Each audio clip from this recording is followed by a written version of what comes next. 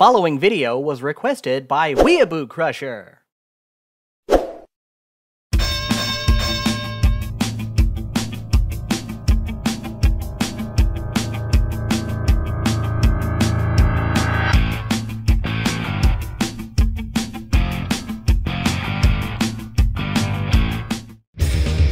Alright, Battletech fans, for this video, we're going to go through the assembly for the Mad Catz Pryde, which you can see here I have unopened.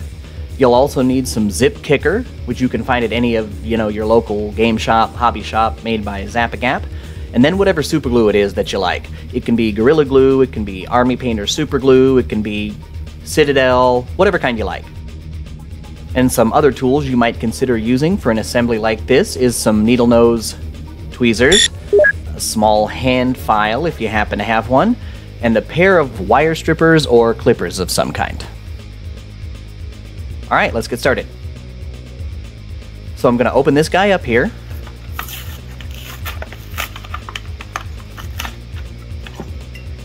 And the first thing I'm going to do is I'm just going to take a quick stock of all the various materials and things like that, make sure that everything I need is there. So here we've got, looks like the fuselage, you know, the torso. Here is Aidan Pryde. We're going to put him to the side over here. He's just going to watch. Let's see here. We've got our feet. And then, huh, okay, this is interesting. It looks like the missile pods are connected to the arms here. And in the back, let's see. Right about here, looks like we have our jump jets. Okay. Hmm. That might make things a little bit easier. But anyway, I got two arms with two LRM packs on them. That's good. And it looks like on this sprue here, I got both of my legs, and I got the little thingamajigger that the torso goes onto. And this sprue, I think this is kind of interesting. It comes with two extra missile packs, but, you know, because I have them on the arms here, I don't suppose I'll need them. It doesn't come with any extra arms. This is all one piece right here, so I can't imagine what these are for. These things on the side here look like the medium pulse laser, the machine guns, so I'd venture to say that this is complete, so let's get into it. Now, sometimes you're going to have things like this on the miniature, which is what we call flash, you know, or whatever. So I'm going to take and just cut that off with my snippers here. If you don't get it, you know, super flush all in one go, that's fine. Take your little file or something similar and just take it and file it down. But ultimately, this isn't going to be anything anybody's going to see anyway, so... Yeah, that seems good. Okay. So what I'm going to do is I'm going to start with dry fitting the pieces here to make sure that everything goes where it's supposed to go. So we'll start with the arm here.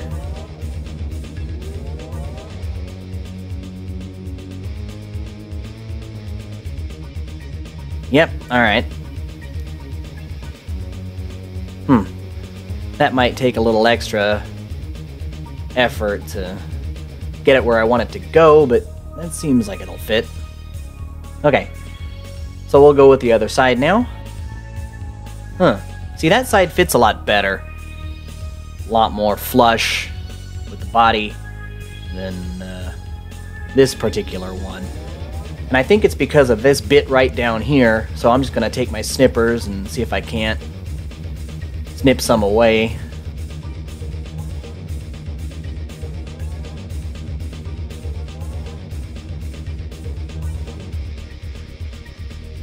Nope. So what I'm going to do is I'm just going to take and I'm going to cut that right off. Then dry fit it again. Alright, now we're in business. Yeah. So don't be afraid to modify these things, because sometimes, you know, you're going to have to. Now, let's get to the fun part. We're going to glue it. So I'm just going to look and find the little hole in the bit here. And I'm just going to put a tiny little dab of glue on there. Boom. A little goes a real long way. You don't have to worry about it.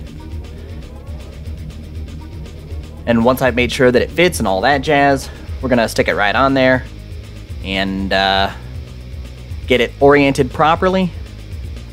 You know, just as straight as I can. Then we'll take our zip kicker and just a tiny little spritz there. And that'll do the trick. Like, hold it for a few seconds and boom. Should be good to go there. So I'll just repeat this process now. One thing I want to warn you about is when your super glue is open, keep your super glue away from the zip kicker. Because if this stuff gets inside here for any reason, you will brick the entire bottle of super glue. Like I'm telling you, this stuff will harden it up so fast your head will spin. So just be careful. When you're spraying, make sure the cap is on that super glue. So I'll put just another little dab on there.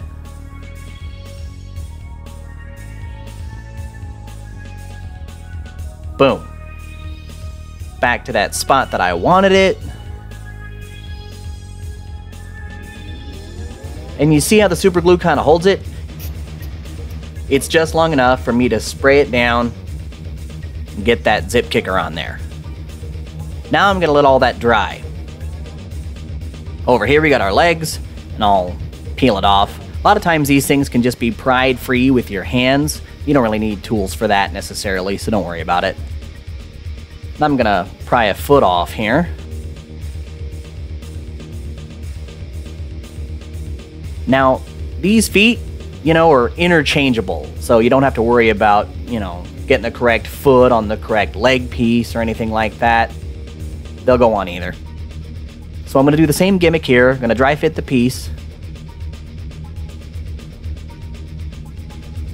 Yep, seems like it'll fit just fine. Pull the cap off my super glue and repeat the process here. Just another little dab of glue. Alright, let's get that bad boy on there. With these feet, what you want to try and do is center the shins to the middle of the two toes. Go by this right here, this line, to about the middle of the foot, because that's where it's all supposed to go. So it should look just about like that. And then I'll give, give it a little quick shot of zip kicker here. Boom. Set that down. And then I'll repeat the process. Dry fit. Perfect. Little dab of glue. Little dab will do ya. Get that sucker on there. Try the best I can to center it. Boom. And kick it one more time.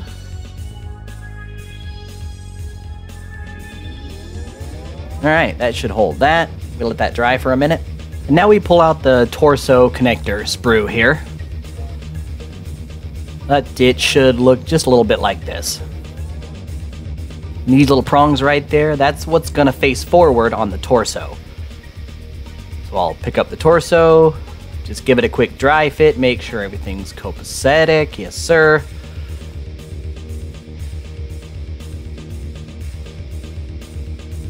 A little bit of glue, boom. About the size of a pinhead, the amount of glue there. All right. Boom. Pop it on there, give it a little push, a little spray. That should be plenty. Starting to come together. So, if you want this Mad Cat to be in kind of like a static pose, it's not a problem. Just take your legs, dry fit them on there, and then your next step is to try and figure out how you need to glue the joint together and in what position to make it as straight as possible so it'll stand up by itself.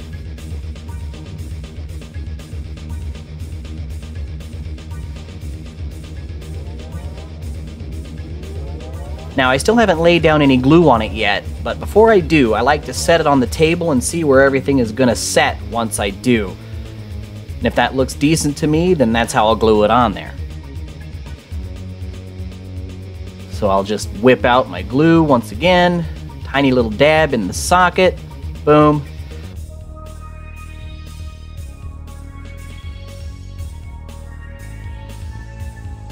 Just pop it right back in where I had it. And then before I spray it, I'm going to give it one last little look-see to make sure it's sitting as straight as I can possibly get it. Just trying to make sure it's not listing or anything. And give it a little shot. Legit with that zip kicker, it's just psh, that's as much as you'll need. You don't need to go overboard with it, you just waste it. Alright, legs on there. Now that's going to take a bit of time to dry. It might be a little wobbly, but just give it some time. It'll be fine. Now, just like before, I'll repeat the process, but this time it'll be easier to straighten everything because I have one leg on there already to judge the new leg's position off of. And I'm just going to make this particular miniature a static standing pose this time around for simplicity's sake. It's kind of like it's in a guard position, waiting for a new target to come along. Maybe a little bit of a step there. You can pose these legs almost, you know, any way that you like. One more spritz,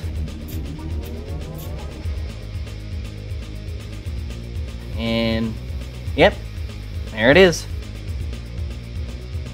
It'll stand on its own, so I know it'll be fine on a hex base later. Now I'm to take the last bits, and I'll just ignore these, and I'll pull the last two guns off here.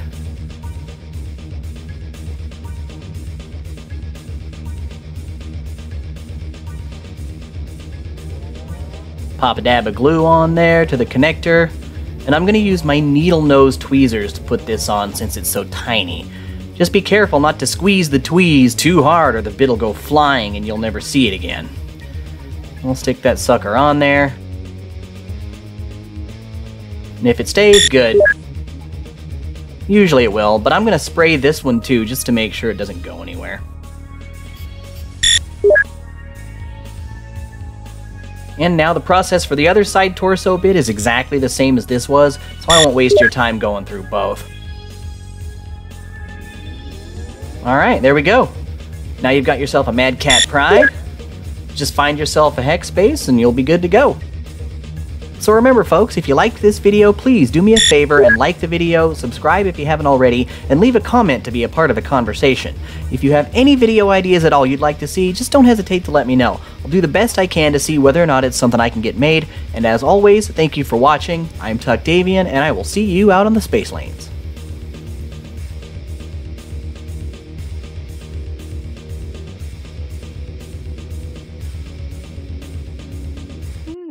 Ideas are intriguing to me, and I wish to subscribe to your newsletter. Crowdfunding is when lots of people give you small amounts of money to help your passion project come to life.